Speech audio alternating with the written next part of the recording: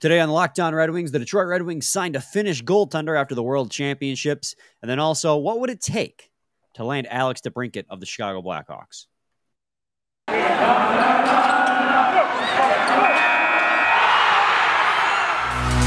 Your Locked On Red Wings, your daily podcast on the Detroit Red Wings, part of the Locked On Podcast Network. Your team every day.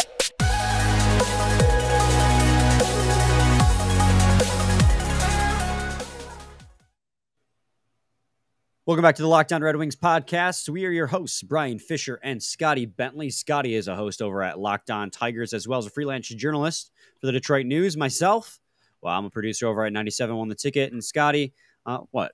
I just thought that was like a weird. Well, I Myself? didn't- Well, I didn't. I didn't put myself first there, so I was like, I gotta, I gotta wrap yeah, this in usually you do. Usually I'm second fiddle, but today I got. Oh, oh, one. wow. Okay. At least everyone knows now the reality of the situation. Correct. Uh, what are you wearing? What What is that? this is a Vladimir Guerrero Senior Montreal Expos jersey. That's sick. That is sick. Yeah, it's super cool. Dig that. Uh, thanks for making Locked On Red Wings your first listen every single day. We are free and available on all platforms. Um, I we're going to talk today about the Finnish goaltender that Detroit Red Wings signed. Uh, Jussi, and I'm going to try my best. Jussi Olkinora, Olkinora, Olkinuora, Yep. Olkinuora. Yeah, you nailed Olkinuora. There we go. That's what I'm going to say. Olkinuora. It's it's a tough another tough one. Uh, Jussi You nailed it. Olkinuora, and um, he was just named MVP of World Championships. He led Finland to gold. He played fantastic in those World Championships. He had a 948 save per, save percentage and a 1.11 goals against average. And I do want to talk about that because it makes the goaltending situation in Detroit pretty interesting. But first, I'm going to blindside you with this, Scotty.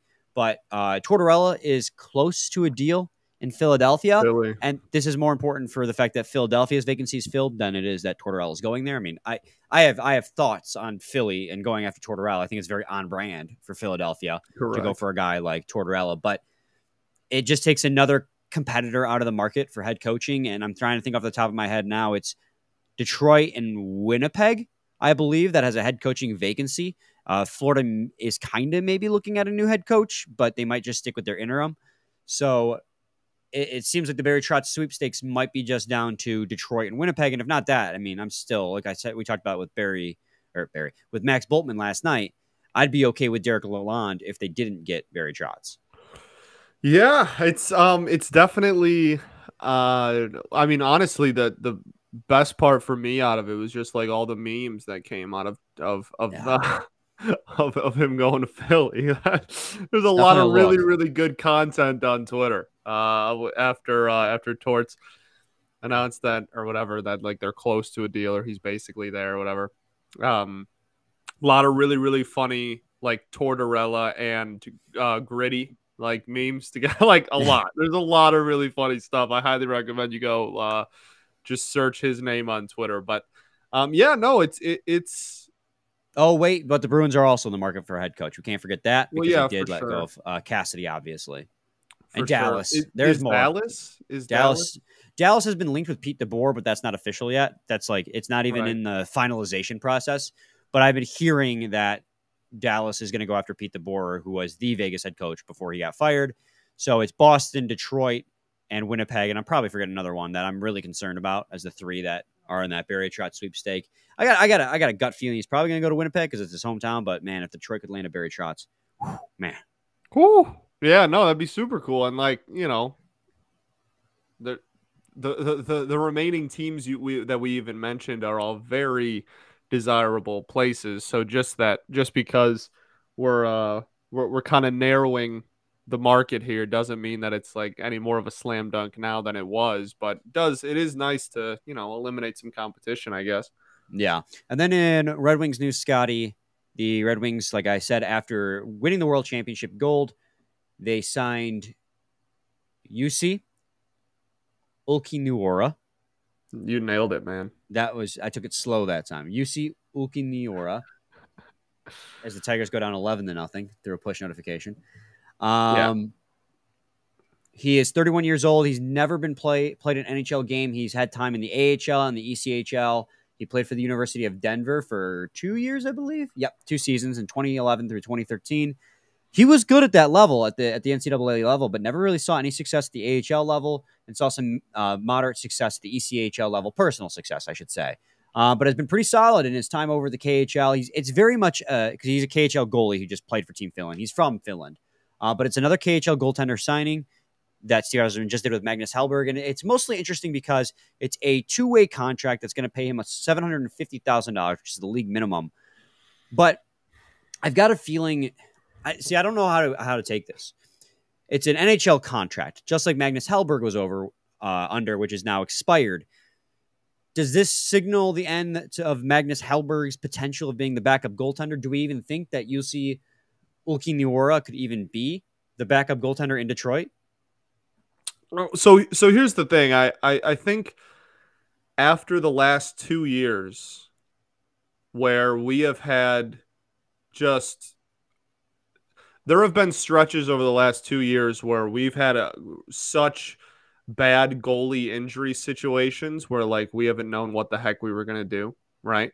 Yeah, like like Calvin coming back up, you know, it, and um, I think that they will still be big players in the backup goalie market, and I don't think that this these kind of signings change that. I don't think they're like, oh well, you know, we we got we got this student Halbert, so like we're you know what I mean, like we're we're we're we're good with backup goalies. Like I I think they're going to continue to to push and and kick the tires on that market, and I think that these signings are really just.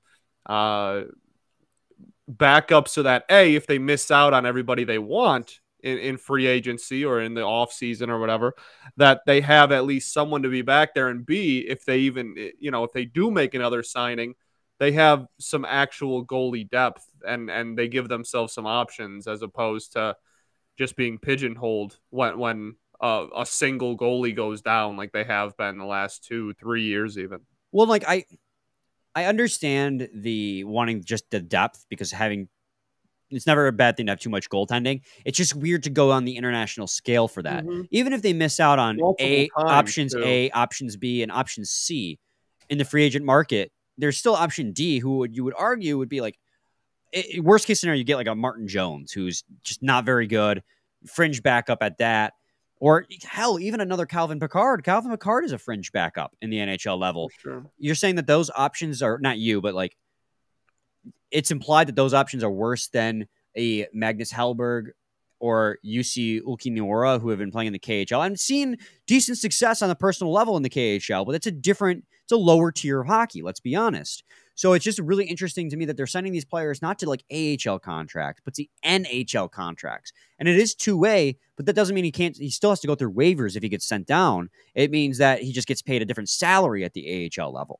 So it's just really interesting to see these players, Magnus Hellberg and Jussi Ulki Niora, and I can understand that Ulki Niora, um, I'm trying really hard to uh, signing to a degree because he just came off a fantastic um, world championship with Team Finland, gold MVP. I get it. You're taking a flyer on a guy who you know might have a little bit of a resurgence.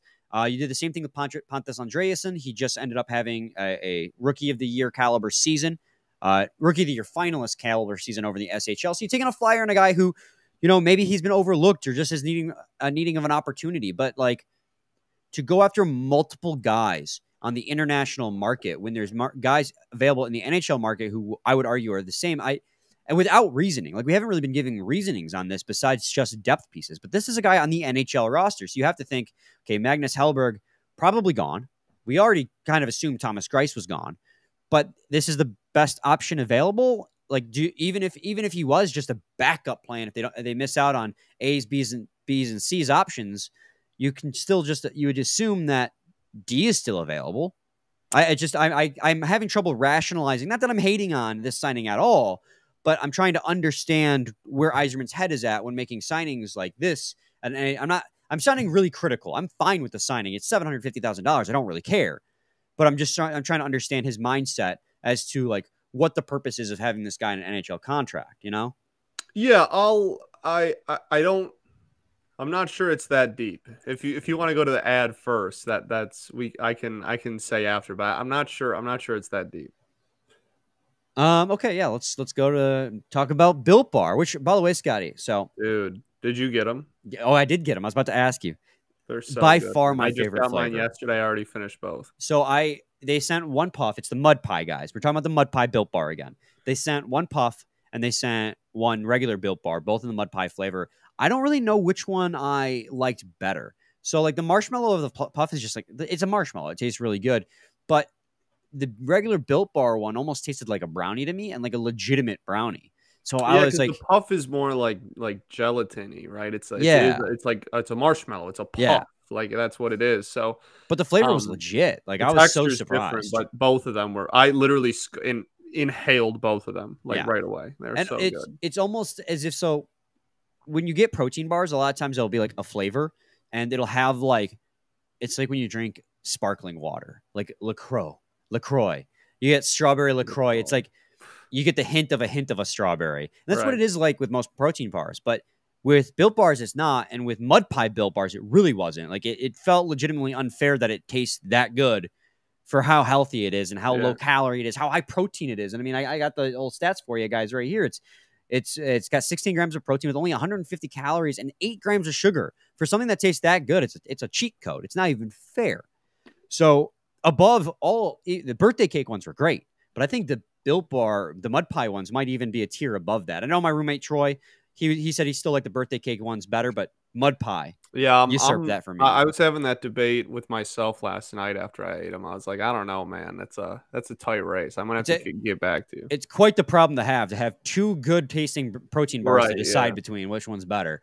Um, so guys, that's your ad read. Go to built.com, use promo code Lo- locked15 and get 15% off your order. Use promo code locked15 for 15% off at built.com. This is a limited time flavor, so make sure you get it before it's gone.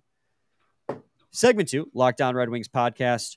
Uh, we're talking very briefly. We'll finish it up here because I'm sure people want us to talk about the Alex DeBrincat news. Um, but Jussi Ulkiniora. Scotty, you had like one more thing you wanted to go. Yeah. I was going off like trying to rationalize things, probably no, going no, no. way I, too deep. I, I just like I we can't like free agency isn't open yet. yeah, So like this is who we have to choose from. Like I like I I don't think it's anything deeper than that. It's like, hey, there are there are guys that perform really well in the KHL that we have the ability to sign. And then there's NHL players that we don't have the ability to sign. And we're just in the period of time where we can only sign the people that do really well overseas. And that's just why it happened. yeah. Like I'm trying to. I'm definitely probably think overthinking the move. Um, it's just when I see moves like that, especially off the heels of the Magnus It is Hellberg, weird to have two in, in that Yeah. sort of a span. I, I, I agree with that. and we Um, never got an explanation on Magnus Hellberg. He just played at the NHL level for one game when we had Thomas Yeah. Greiss and A plus Nedeljkovic. rating. Yeah, A plus rating. undefeated, undefeated in his Red Wings career. Baby. So are they just planning on carrying three goalies and this is just their third guy? Maybe it could also be maybe they saw with the COVID season, as last year was like the the hopefully the final year of the COVID years, um, that players go down way more frequently because of injury and because of illness, that it it'll behoove them to have a third goalie on the roster Right. instead of having to call people up from Grand Rapids all the time. It could have been as simple as that. Yeah, I, and then and that's I think it's a combination of those two things. I, I think it's literally just they we we've gotten really thin at goalie at times, and we don't want that to happen again. Uh, and it's that combined with just it being June, and that's who we have to choose from to sign if we want, and that's somebody that that caught And- Stevie's eye. it quite literally hurts nothing by having him on the roster. If, No. if the best case scenario, he makes a few spot starts and he's good. So Yep. that's worst case scenario. You lose out on seven hundred fifty thousand dollars for one year, which you didn't need because you have three hundred thirty-five million. Right, and then you sign someone else anyway to be a backup, and he's just in the A anyway. Yeah, yeah. Um, because you put him on waivers. Chances of him getting picked off waivers, having never played an NHL game and being subpar at the AHL level when he was younger, Oh my gosh. doubt it's going to happen. Oh, what happened now? Uh, they're already going to a position player, and it is the seventh inning. Shoo. Tigers are down bad. That might be the earliest I've seen us go to a position player in a while. Uh, you want us to talk about a position player here on Locked On Red Wings? I would love to. What a transition that was. I'm pretty proud of myself for that one. Uh, so last week we talked about David Pastrnak. This week we wanted to get to Alex DeBrincat earlier, and we kind of talked about it with Max. And Max is adamant that there's really no shot that the Red Wings. I, you know, acquire uh, De, a uh, DeBrincat or a Pastrnak just because they're going to cost too much. And you made that argument in the Pastrnak episode is that the what you're going to have to give up to get a player like that would almost it'd be like two steps back, one step forward. And I, I tend to agree with that, but it's still fun to talk about. It's still fun to talk about now. Alex DeBrincat. He's well, just, nothing's out of the question with Steve either. Yeah, he, he's in a very similar situation as uh, David Pastrnak too. Alex DeBrincat is 24 years old, two years longer younger than Pastrnak. He can play left or right wing as an alternate captain for the Chicago Blackhawks. The Blackhawks are staring down the barrel of a full scale rebuild uh, very shortly here. If it's not this year, it's going to be next year. And there's been rumors that they're shopping their star forward because by the time they come out of the rebuild, Alex DeBrincat's going to be past his prime, and he's not going to want to play with them anyways. He's going to be a free agent at the end of 2022, 2023, and he's making 6.4 million, very similar to uh, Pastrnak. Just like Pastrnak, he's had multiple 40 goal seasons. This past season, he had 41 goals in 82 games, literally a goal every single game, or every other game rather, with 37 assists for a total of 78 points. Um, that's on a team that had him at a minus 13 rating. So despite the team around him getting mm-hmm. out, like he was putting up points. Um, he also had a 32 goal season the year prior in the shortened season and 41 and 82 in 2018 2019. He had almost 30 goals in his rookie season of 2017. So he, he is a lethal weapon, just like David Pastrnak. But the problem comes in again, just like with the David Pastrnak conversation, is where does if you were hypothetically speaking to go after a guy like Alex DeBrincat because you look at him and you want to be aggressive and you want to make this team put this team in a position to win sooner rather than later because you feel you're Steve Yzerman you feel this rebuild has gone on for too long and that you're already screwed by the lottery and you're not going to get that much better and so this is your core and you got to move forward and so you got to be aggressive what is it going to take to bring in an Alex DeBrincat to slot in on line number one and score 40 goals for the Detroit Red Wings? Well, I, that's a great question. I, I, I think that this is one where, first off, no matter what is going on, I, I think you're you're getting rid of some some pretty valuable draft picks. I'm not really sure there's a reality where you're going to be able to avoid that. Um, I, I also think that there's probably not a reality where with with any of these guys again with either of these guys I should say that you are going to be able to offer to, to not have in your offer a pretty solid prospect that's going to take some convincing within the fan base to get rid of as well. I, I think those two things are a starting point no matter what. So, and just just playing devil's advocate because there's a million reasons for the Red Wings to not do it. And Bultman covered part of it yesterday in our, our prospect profile of uh, Marco Kasper. Is just like it's going to cost you too much. But playing devil's advocate and talk about why they could and what it's going to take. You look at what Jack Eichel got in a trade. You mm-hmm. people are probably going to look at Jack Eichel and go, "He was taken second overall, and he's a stud." Well, I hate to tell you this, guys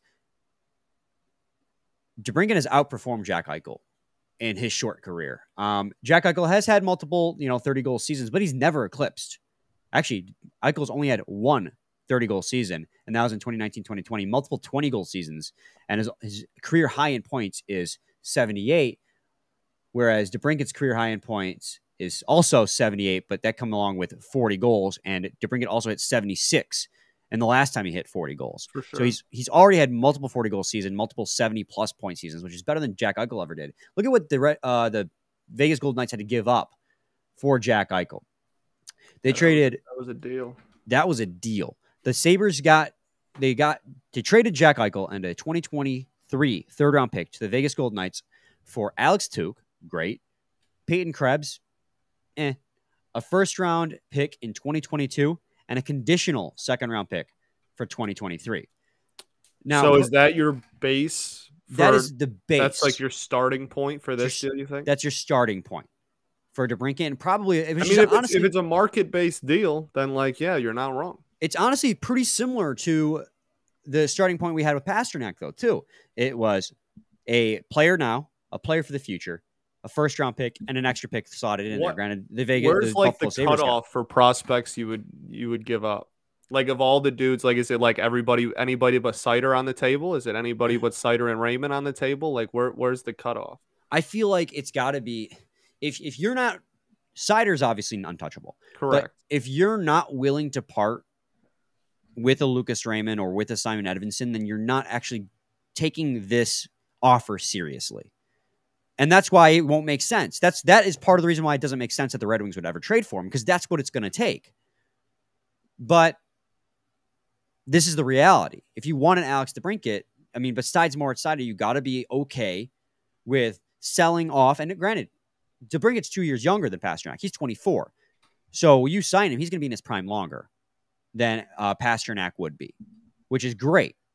And so he could be part, if you decide this is your core now, along with a 26 year old Dylan Larkin and a 26 year old Tyler Bertuzzi, getting rid of Lucas Raymond would be, it would hurt your core in the future, but it would open up a window now. It's the same argument we've had with Pastrnak.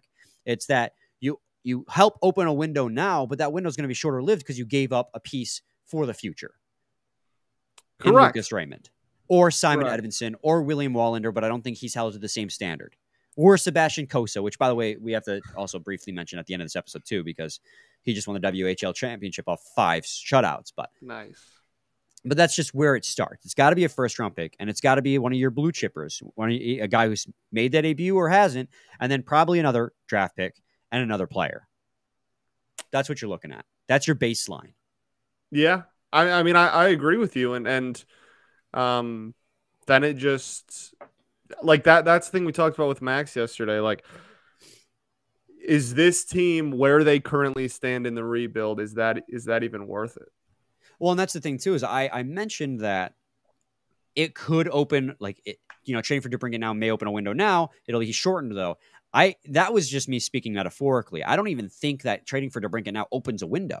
Yeah, you get 40 goal score, but you're still really shallow on defense. So much more than just a forty goal score. Yeah, you need one defenseman. Eh, like this is a guy you go out as a finishing piece. right. I agree. And this I team just doesn't have a finishing piece. So if you're willing to depart with your eighth overall pick, Edvinsson Cossa or Raymond, say Zadina, because he's always the guy we just we pitch in there as a player. He's such an roster. easy like third throw in Guy who could be great, like, he- he's like one of just those like low- change of scenery guy. You know. Yeah. And then maybe like another a conditional second round pick. Let's just go with what the Jack Eichel trade got. I mean, that is that is your package for a 24 year old Alex DeBrincat who has got one more year left on his contract and is look down looking down the barrel of an extension. He'd be a great player on your team. He'd be great on the Detroit Red Wings. But what you're giving up probably isn't worth it because this team needs so much more than one player. Correct. And and that's why it's when you're talking about the uh we, we need so much more than one player and when you're if you're just looking at amount of assets you're getting up and amount of assets you're receiving, right? Like this team has so many holes still and giving up 3 4 assets for one asset, no matter how good that asset is, is just not going to be worthwhile. Completely agree. It's just it's just not worth the while. Same with David Pastrnak. There's fun. There's sexy things to talk about. Like Like you. Yeah. thank you. Uh, the idea of having a Pastrnak jersey or the idea of having a DeBrincat uh, player, For a player like DeBrincat, It, it, it would put a lot of butts in the seats the first month or so of the season. It's like trading for Blake Griffin. It, you know what? That's that. That's I. I. I- think. Well, I mean, Blake Griffin's year, that playoff It's year, not- he, he was he was unbelievable. But Yeah, but Um, wa again, it was a team that needed more than just Blake Griffin. And Blake Griffin, now, the the, sure. The No, part that makes a it not really one good- for one. It's a really is- good. uh It's a really good side by side. I mean that that they gave up what a pick, Avery Bradley, Tobias Harris, and Uh, Tobias Harris is, and yeah, and Boban, and like um Avery Bradley kind of was like never that great. Um, but Tobias Harris was is like uh you know whether you like it or not, whether you agree with it or not, um, like borderline or a just straight up max contract player. Like he was still pretty young at the time. Um, you know, giving up picks when you're a team that is trying to exit a rebuild is always dangerous. Yeah, I, I think that's a pretty good a pretty good side by side. You know, you could even argue that these dudes are better than than Blake, but that doesn't really doesn't really matter because the the point is still the same. Yeah, it's the, the only Even the if only part. even if they the if these guys drag you into the postseason, let's just say they have like 50 goal seasons, and you're like, oh my goodness, like they they single handedly just dragged us into the postseason, right? You're what? You're, you're, you're gonna you're gonna go You're going to get swept by the Milwaukee you're gonna go Bucks five of the in the NHL. first, right? You're gonna you're gonna go home in in four or five in the first, and then everybody in your core is gonna get a year older, and then you didn't have a pick last year to kind of mix in, and then like, and, and you got rid of like your depth pieces. I don't know, like it it just to me it doesn't seem like uh again Although, given the dude no one's saying that these dudes are bad no, I know. I'm not saying. I'm just saying, man. He's not only can he score I just he insinuated a 50 goal season. I- Obviously, like he's not. Obviously, none of these No, dudes I are know. bad. I'm just I saying, just had to like it, throw it that doesn't up there. matter. It literally doesn't matter. Like unless you're getting straight up Connor McDavid, like it, it's not gonna matter.